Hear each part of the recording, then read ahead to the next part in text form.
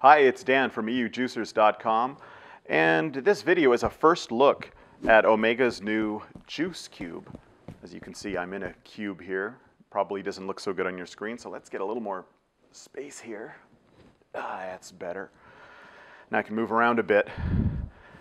This is an interesting product. I'm anxious to take a look at it myself.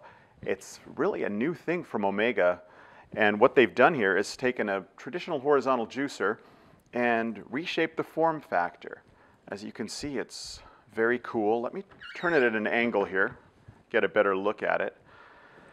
And the purpose of this is to try to combine the functionality, the multi-purpose uh, of a horizontal juicer with a different look, maybe a more stylish look depending on your tastes. Looks are subjective, of course. I think it looks cool. When my wife first saw this, a picture of it, she said, I want one. I said, ah, it's the same thing. It's a horizontal juicer, what we already have. She said, yeah, but it looks so cool. Um, it's a little smaller, depending on uh, how you look at it.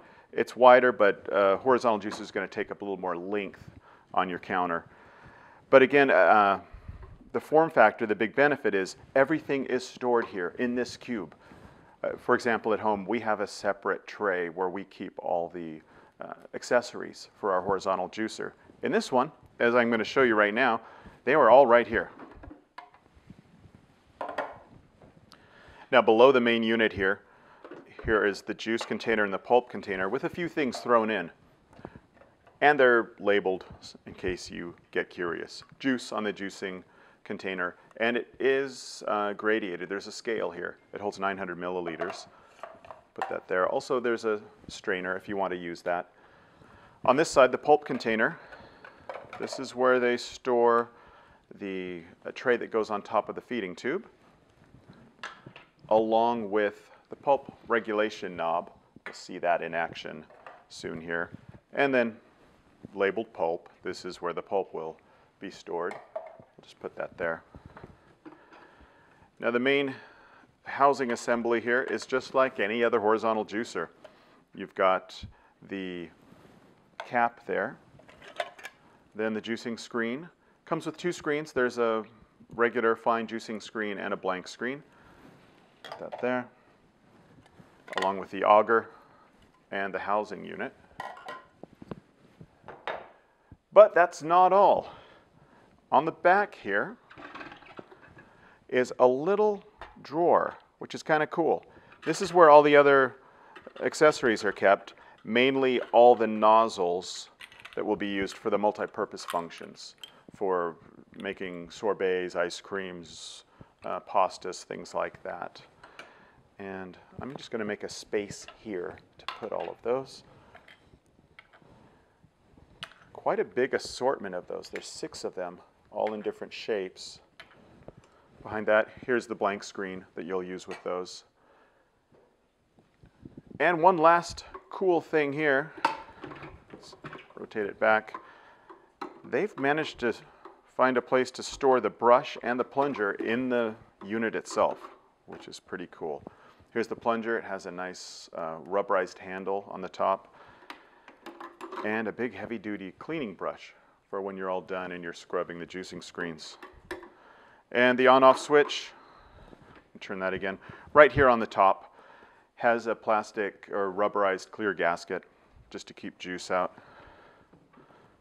And notice here, I like the looks of this. They've got their Omega logo here.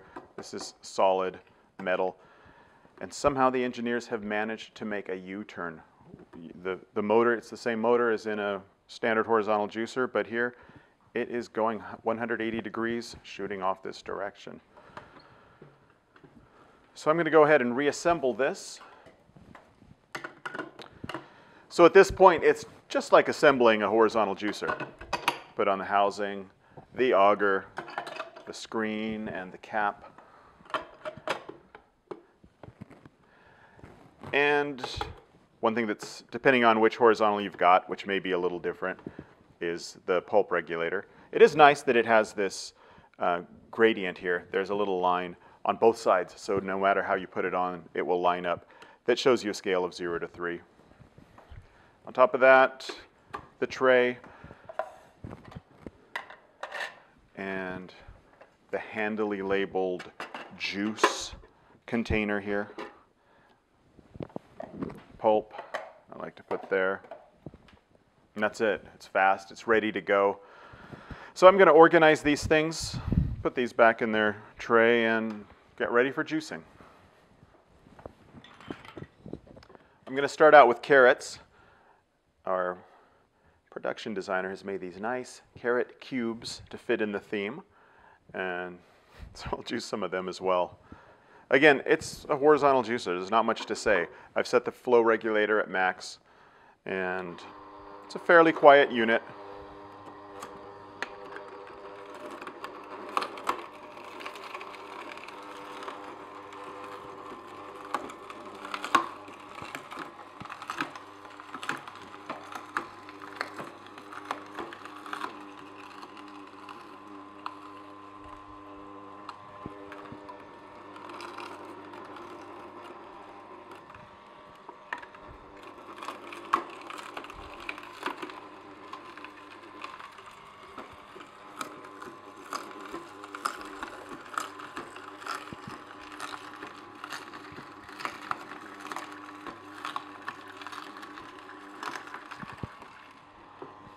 Looks like that should be just about enough.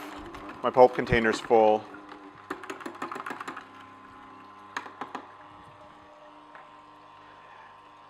And I just wanted to juice about a glass, uh, glass's worth.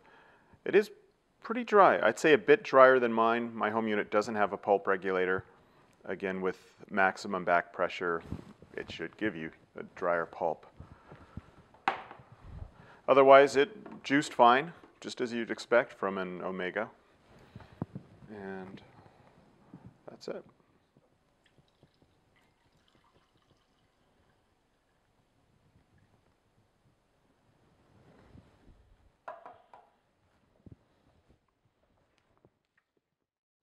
All right, next up are some beets. Sticking with the theme of root vegetables. Again, I'll keep the pulp regulator at maximum pressure for something like this, something dense like this.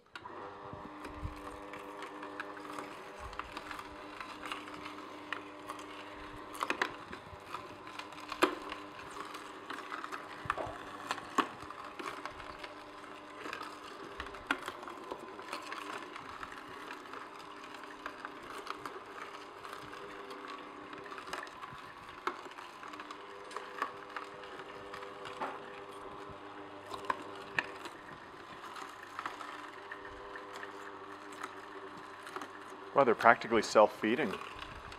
I think the way you cut them.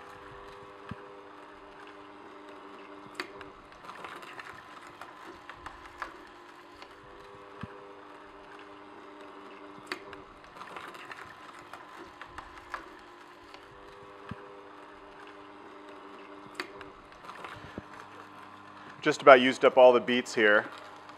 One thing I noticed when they're cut into these small strips, it's basically feeding itself. They're small enough they're just getting caught in there. That's it. I played around with the pulp regulator a bit. I had it up on a high pressure and then I set it on a low and I can really feel the difference in the pulp. The pulp later, when it was at a low pressure, sticks together and the pulp earlier is more powdery, more fine, which just means more juice is being extracted.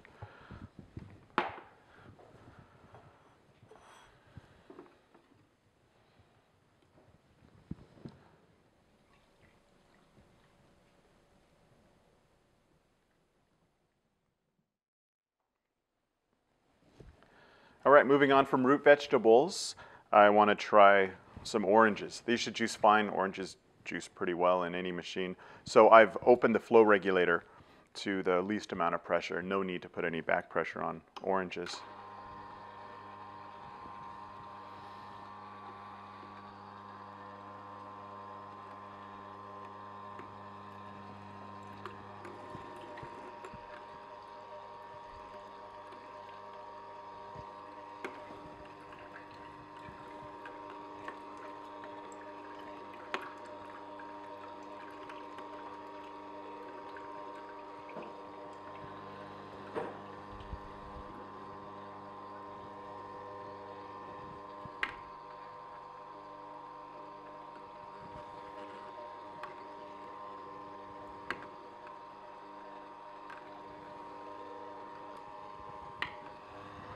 Yeah, I've got more than enough juice for a glass. Again, juicing oranges with something like this is effortless. And I don't know if it's the auger's different, if the housing is different, or if it's the way they're cut, but I'm surprised these are feeding pretty much on their own. Uh, when I use my horizontal at home, I usually have to push them a bit. All right, that's plenty.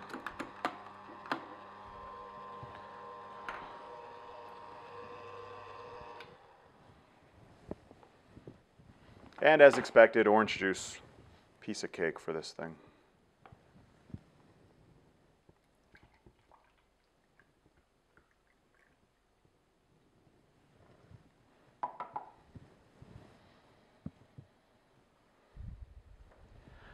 All right, now I'm going to try some greens. I've got here some iceberg lettuce. Going to mix that along with some celery, see how that goes.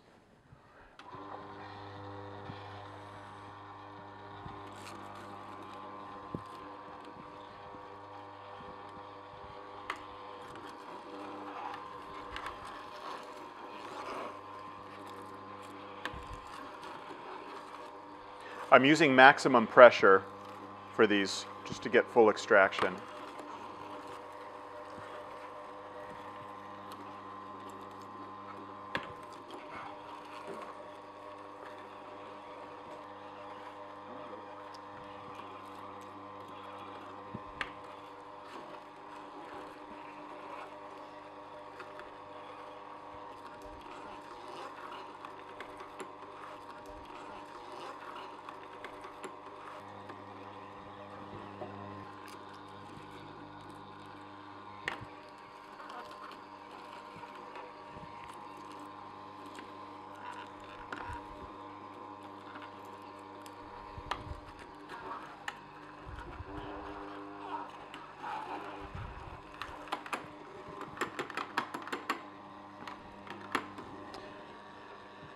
Okay, it looks like I've got enough for a glass. Seemed to go fine. I don't know if you've ever juiced celery before. I like celery a lot. I like it as a snack and I like it in soups. So recently I put some celery in my standard carrot, beet, apple. And let me tell you, tell you, a little celery goes a long way. I didn't realize juiced celery had such a distinctive flavor. I put in like three stalks and it kind of overwhelmed the taste.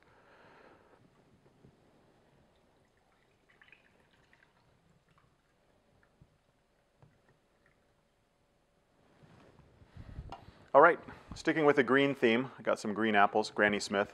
In my opinion, the best apples for juicing, especially real fresh ones.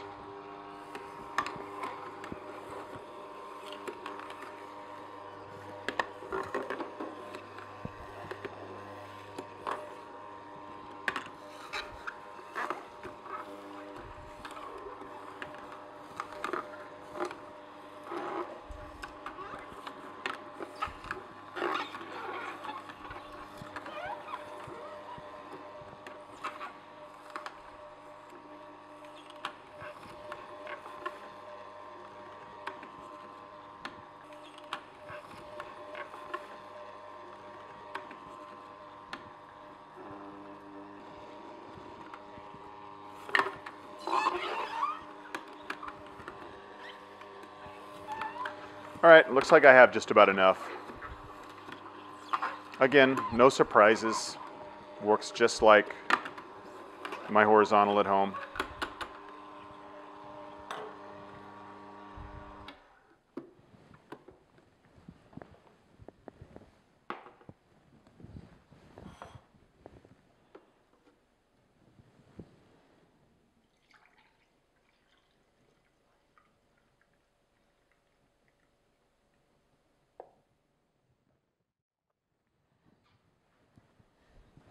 Moving right along, I've got a bowl of red globe grapes. These are the ones with seeds in them.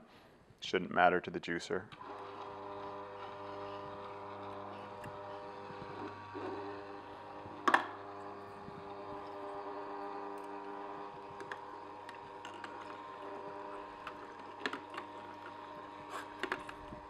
Look at that, self-feeding.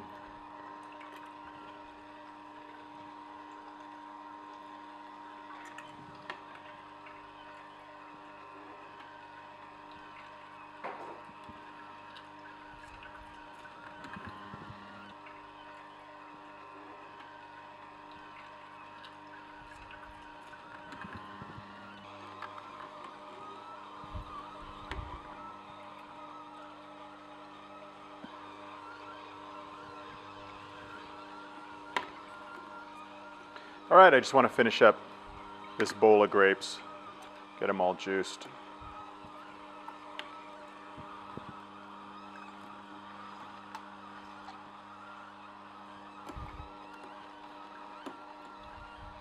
As expected, it went fine. Grapes have a real high juice content.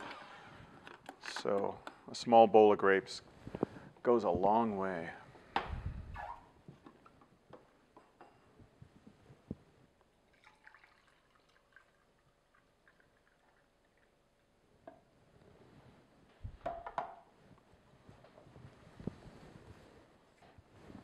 And I'm going to wrap up the juicing here with some pineapple.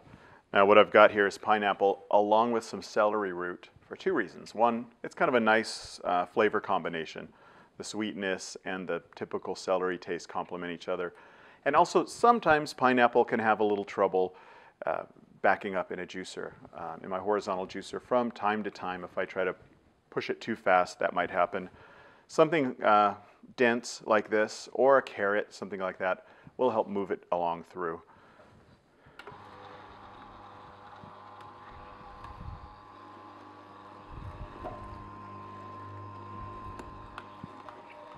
And just to be clear, I have the flow regulation set at the most open position. That's zero on here.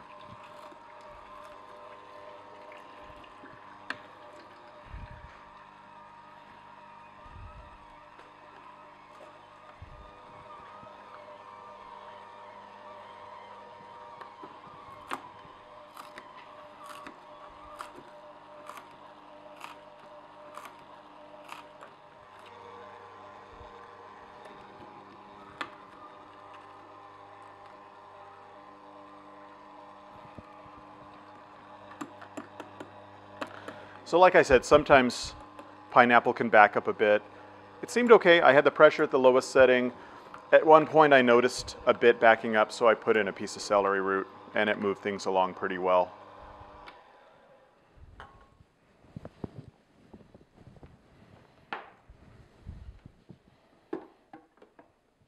So I'm looking forward to tasting this pineapple celery root. Never tried it.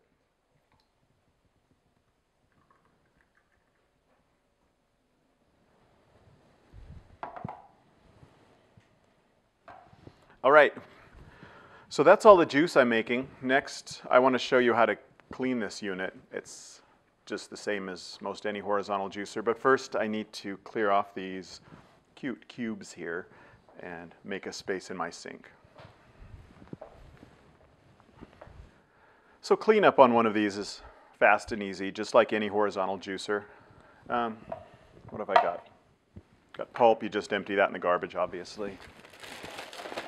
The pulp in the juice container, just rinse out.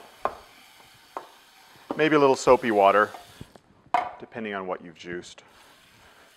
I might use that with after beets. And of course the unit itself, you just slide it open. I like to bring the whole thing over. I disassemble mine over the sink. Now remember, this is pineapple, so there's going to be a lot of fiber and things in here, yeah. But just like any other auger juicer, rinse off the auger.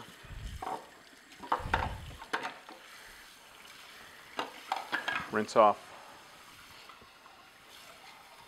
the main housing unit.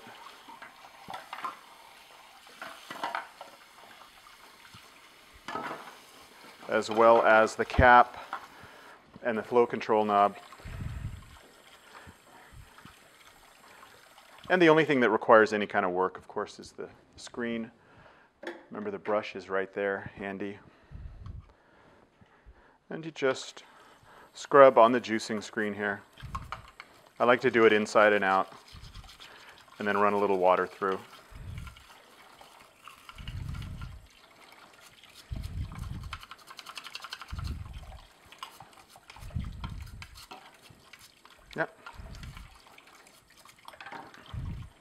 And that's it. So even after pineapple, it cleans up real fast. I'm going to put the machine back together.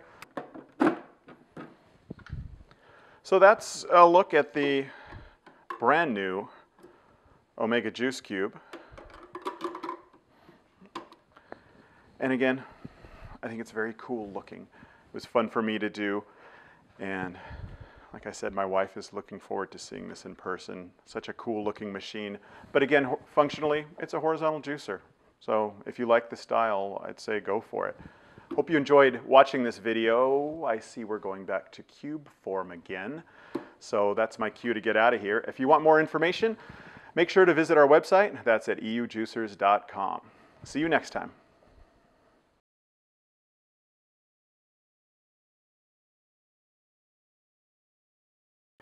Yeah, what kind of what kind of cube horrible puns can I think of? Square. hmm. Let's get all squared up. Everything ready? Squared up cube.